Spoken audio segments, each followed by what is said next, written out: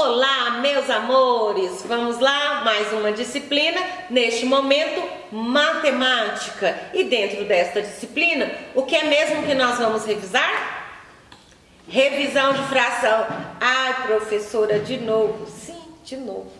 Tá lembrado o que é uma fração? Nós pegamos um inteiro e dividimos essa fração. Essas partes que nós dividimos, ela é o nosso denominador. Eu comprei uma pizza, essa pizza tinha oito pedaços, então o meu denominador, oito. Eu dei dois pedaços para você. Qual que é minha fração?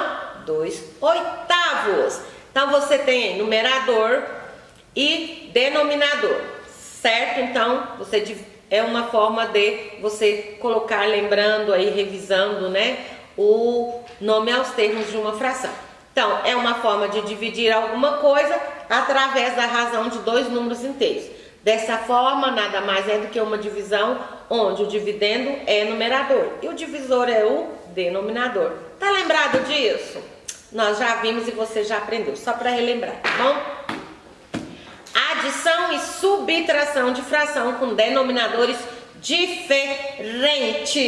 Vamos lá, eu vou explicar para vocês aqui e em seguida nós vamos passar para o quadro para que você possa relembrar isto. Bom, quando nós pegamos duas frações com denominadores diferentes, lembra que lá eu ensinei vocês tirar o MMC, que quer dizer mínimo múltiplo comum. Está lembrado disso? Também ensinei vocês que vocês podem fazer através de uma fração equivalente. Precisa tirar o MMC? Nem sempre, mas você pode encontrar através de uma fração equivalente, certo? Lembraram? Muito bem. Então vamos lá, você tem aí o exemplo 32 sétimo mais 19 oitavos é igual a 23 quintos. O que, que foi aconteceu? Menos 23 quintos, desculpa. Você tem uma adição e uma subtração. Você vai fazer tudo de uma só vez? Pode fazer. Você pode tirar o MMC desta forma que está aí e também existe uma outra forma, aquela que a gente vai encontrando. Por exemplo, você tem aí, você vai tirar o MMC de 7, então você 7 vezes 0, 0, 7 vezes 1, 7, 7 vezes 2, estão lembrados? Depois do 8, depois do 5, encontrou um denominador, certo? e assim sucessivamente. Você acha mais fácil tirar uma fração equivalente? Tranquilo, faça isso, certo? E após você pode tirar desta forma, que eu acho mais difícil para você, e mas existe essa forma porque um aluno me questionou e eu estou colocando para você que existe e está correto, desde que você saiba fazer, certo? Porque não adianta você eu mostrar aqui e você não saber, não vai dar certo, certo? Então você tem aí. Agora vamos para o quadro para eu mostrar para vocês como fazer essa esse essa forma de vocês encontrar isso. Vamos lá.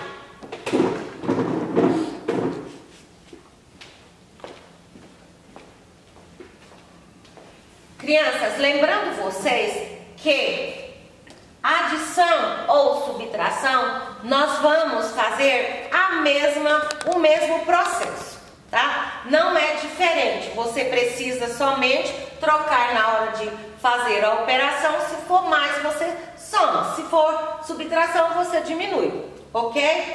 Bom, aqui você tem um meio e dois terços.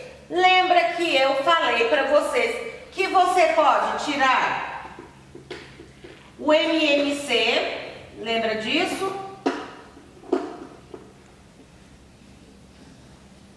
Lembrado? Muito bem. Vamos tirar? Zero, dois, quatro, seis, oito. Eu vou colocar pontinhos que você pode continuar, certo? Bom, de, de 3. 0, 3, 6, 9 pontinhos. Eu já encontrei um múltiplo. Qual que é? O 6.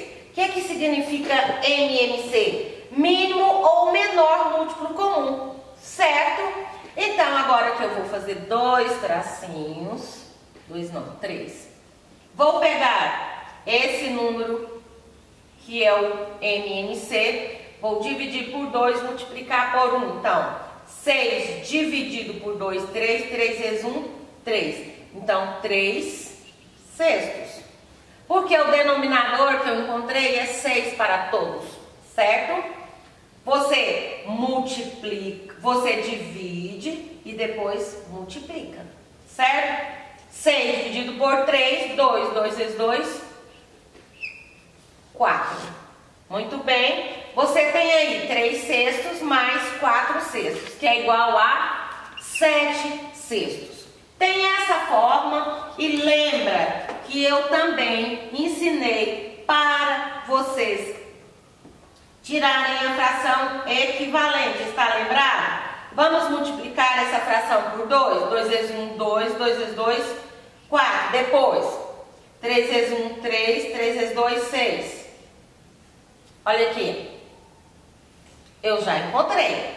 Vamos tirar a fração equivalente a 2 terços? Vamos lá. 2 vezes 2, 4. 2 vezes 3, 6. Eu já encontrei a fração com o mesmo denominador. Então, eu tenho 3 sextos e 4 sextos. Viu que não houve diferença?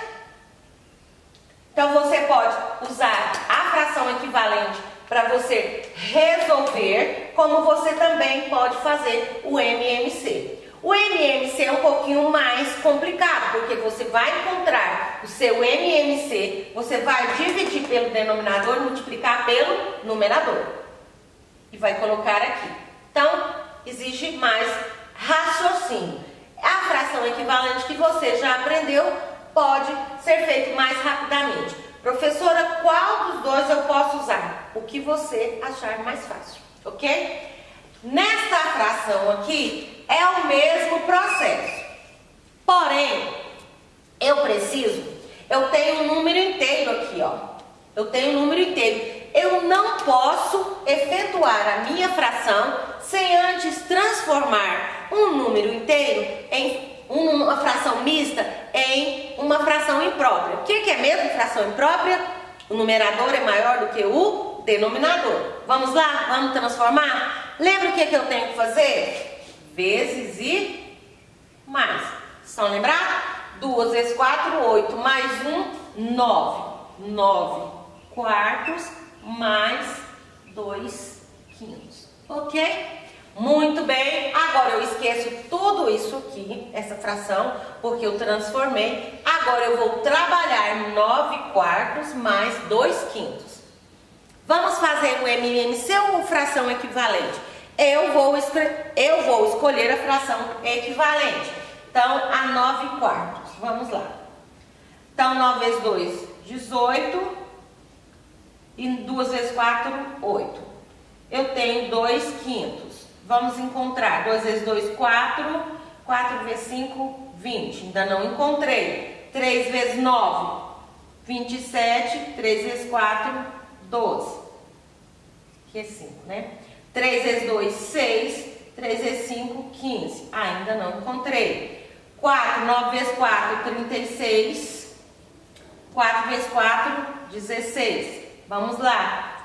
4. 4 vezes 2, 8. 5 vezes 4, 20. Olha, esse é um pouco mais longo, não é isso? Se eu tirasse o múltiplo, não seria mais fácil? Seria. Quer ver como que é mais fácil? Vamos lá?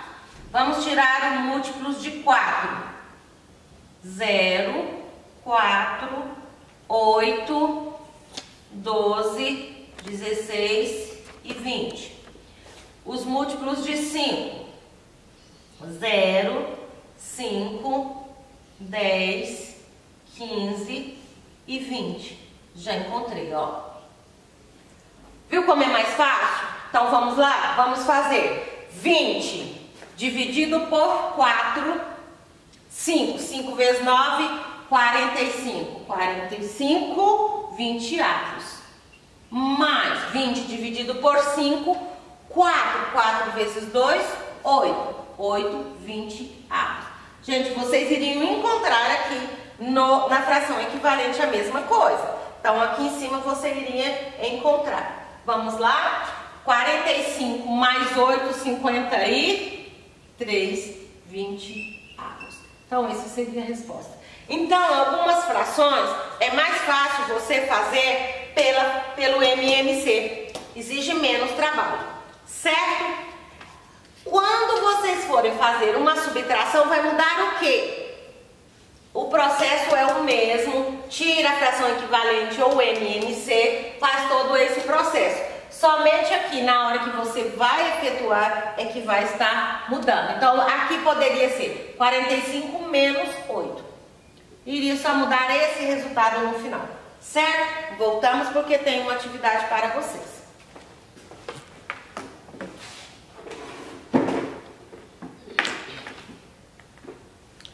Muito bem, agora é sua vez. Você tem aí quatro frações. Você tem uma que é uma fração mista, não esquece que tem que transformar. As outras vocês vão efetuar. Tem duas de adição e duas de subtração, que aí vocês irão fazer no caderno. Boa atividade, até a próxima aula.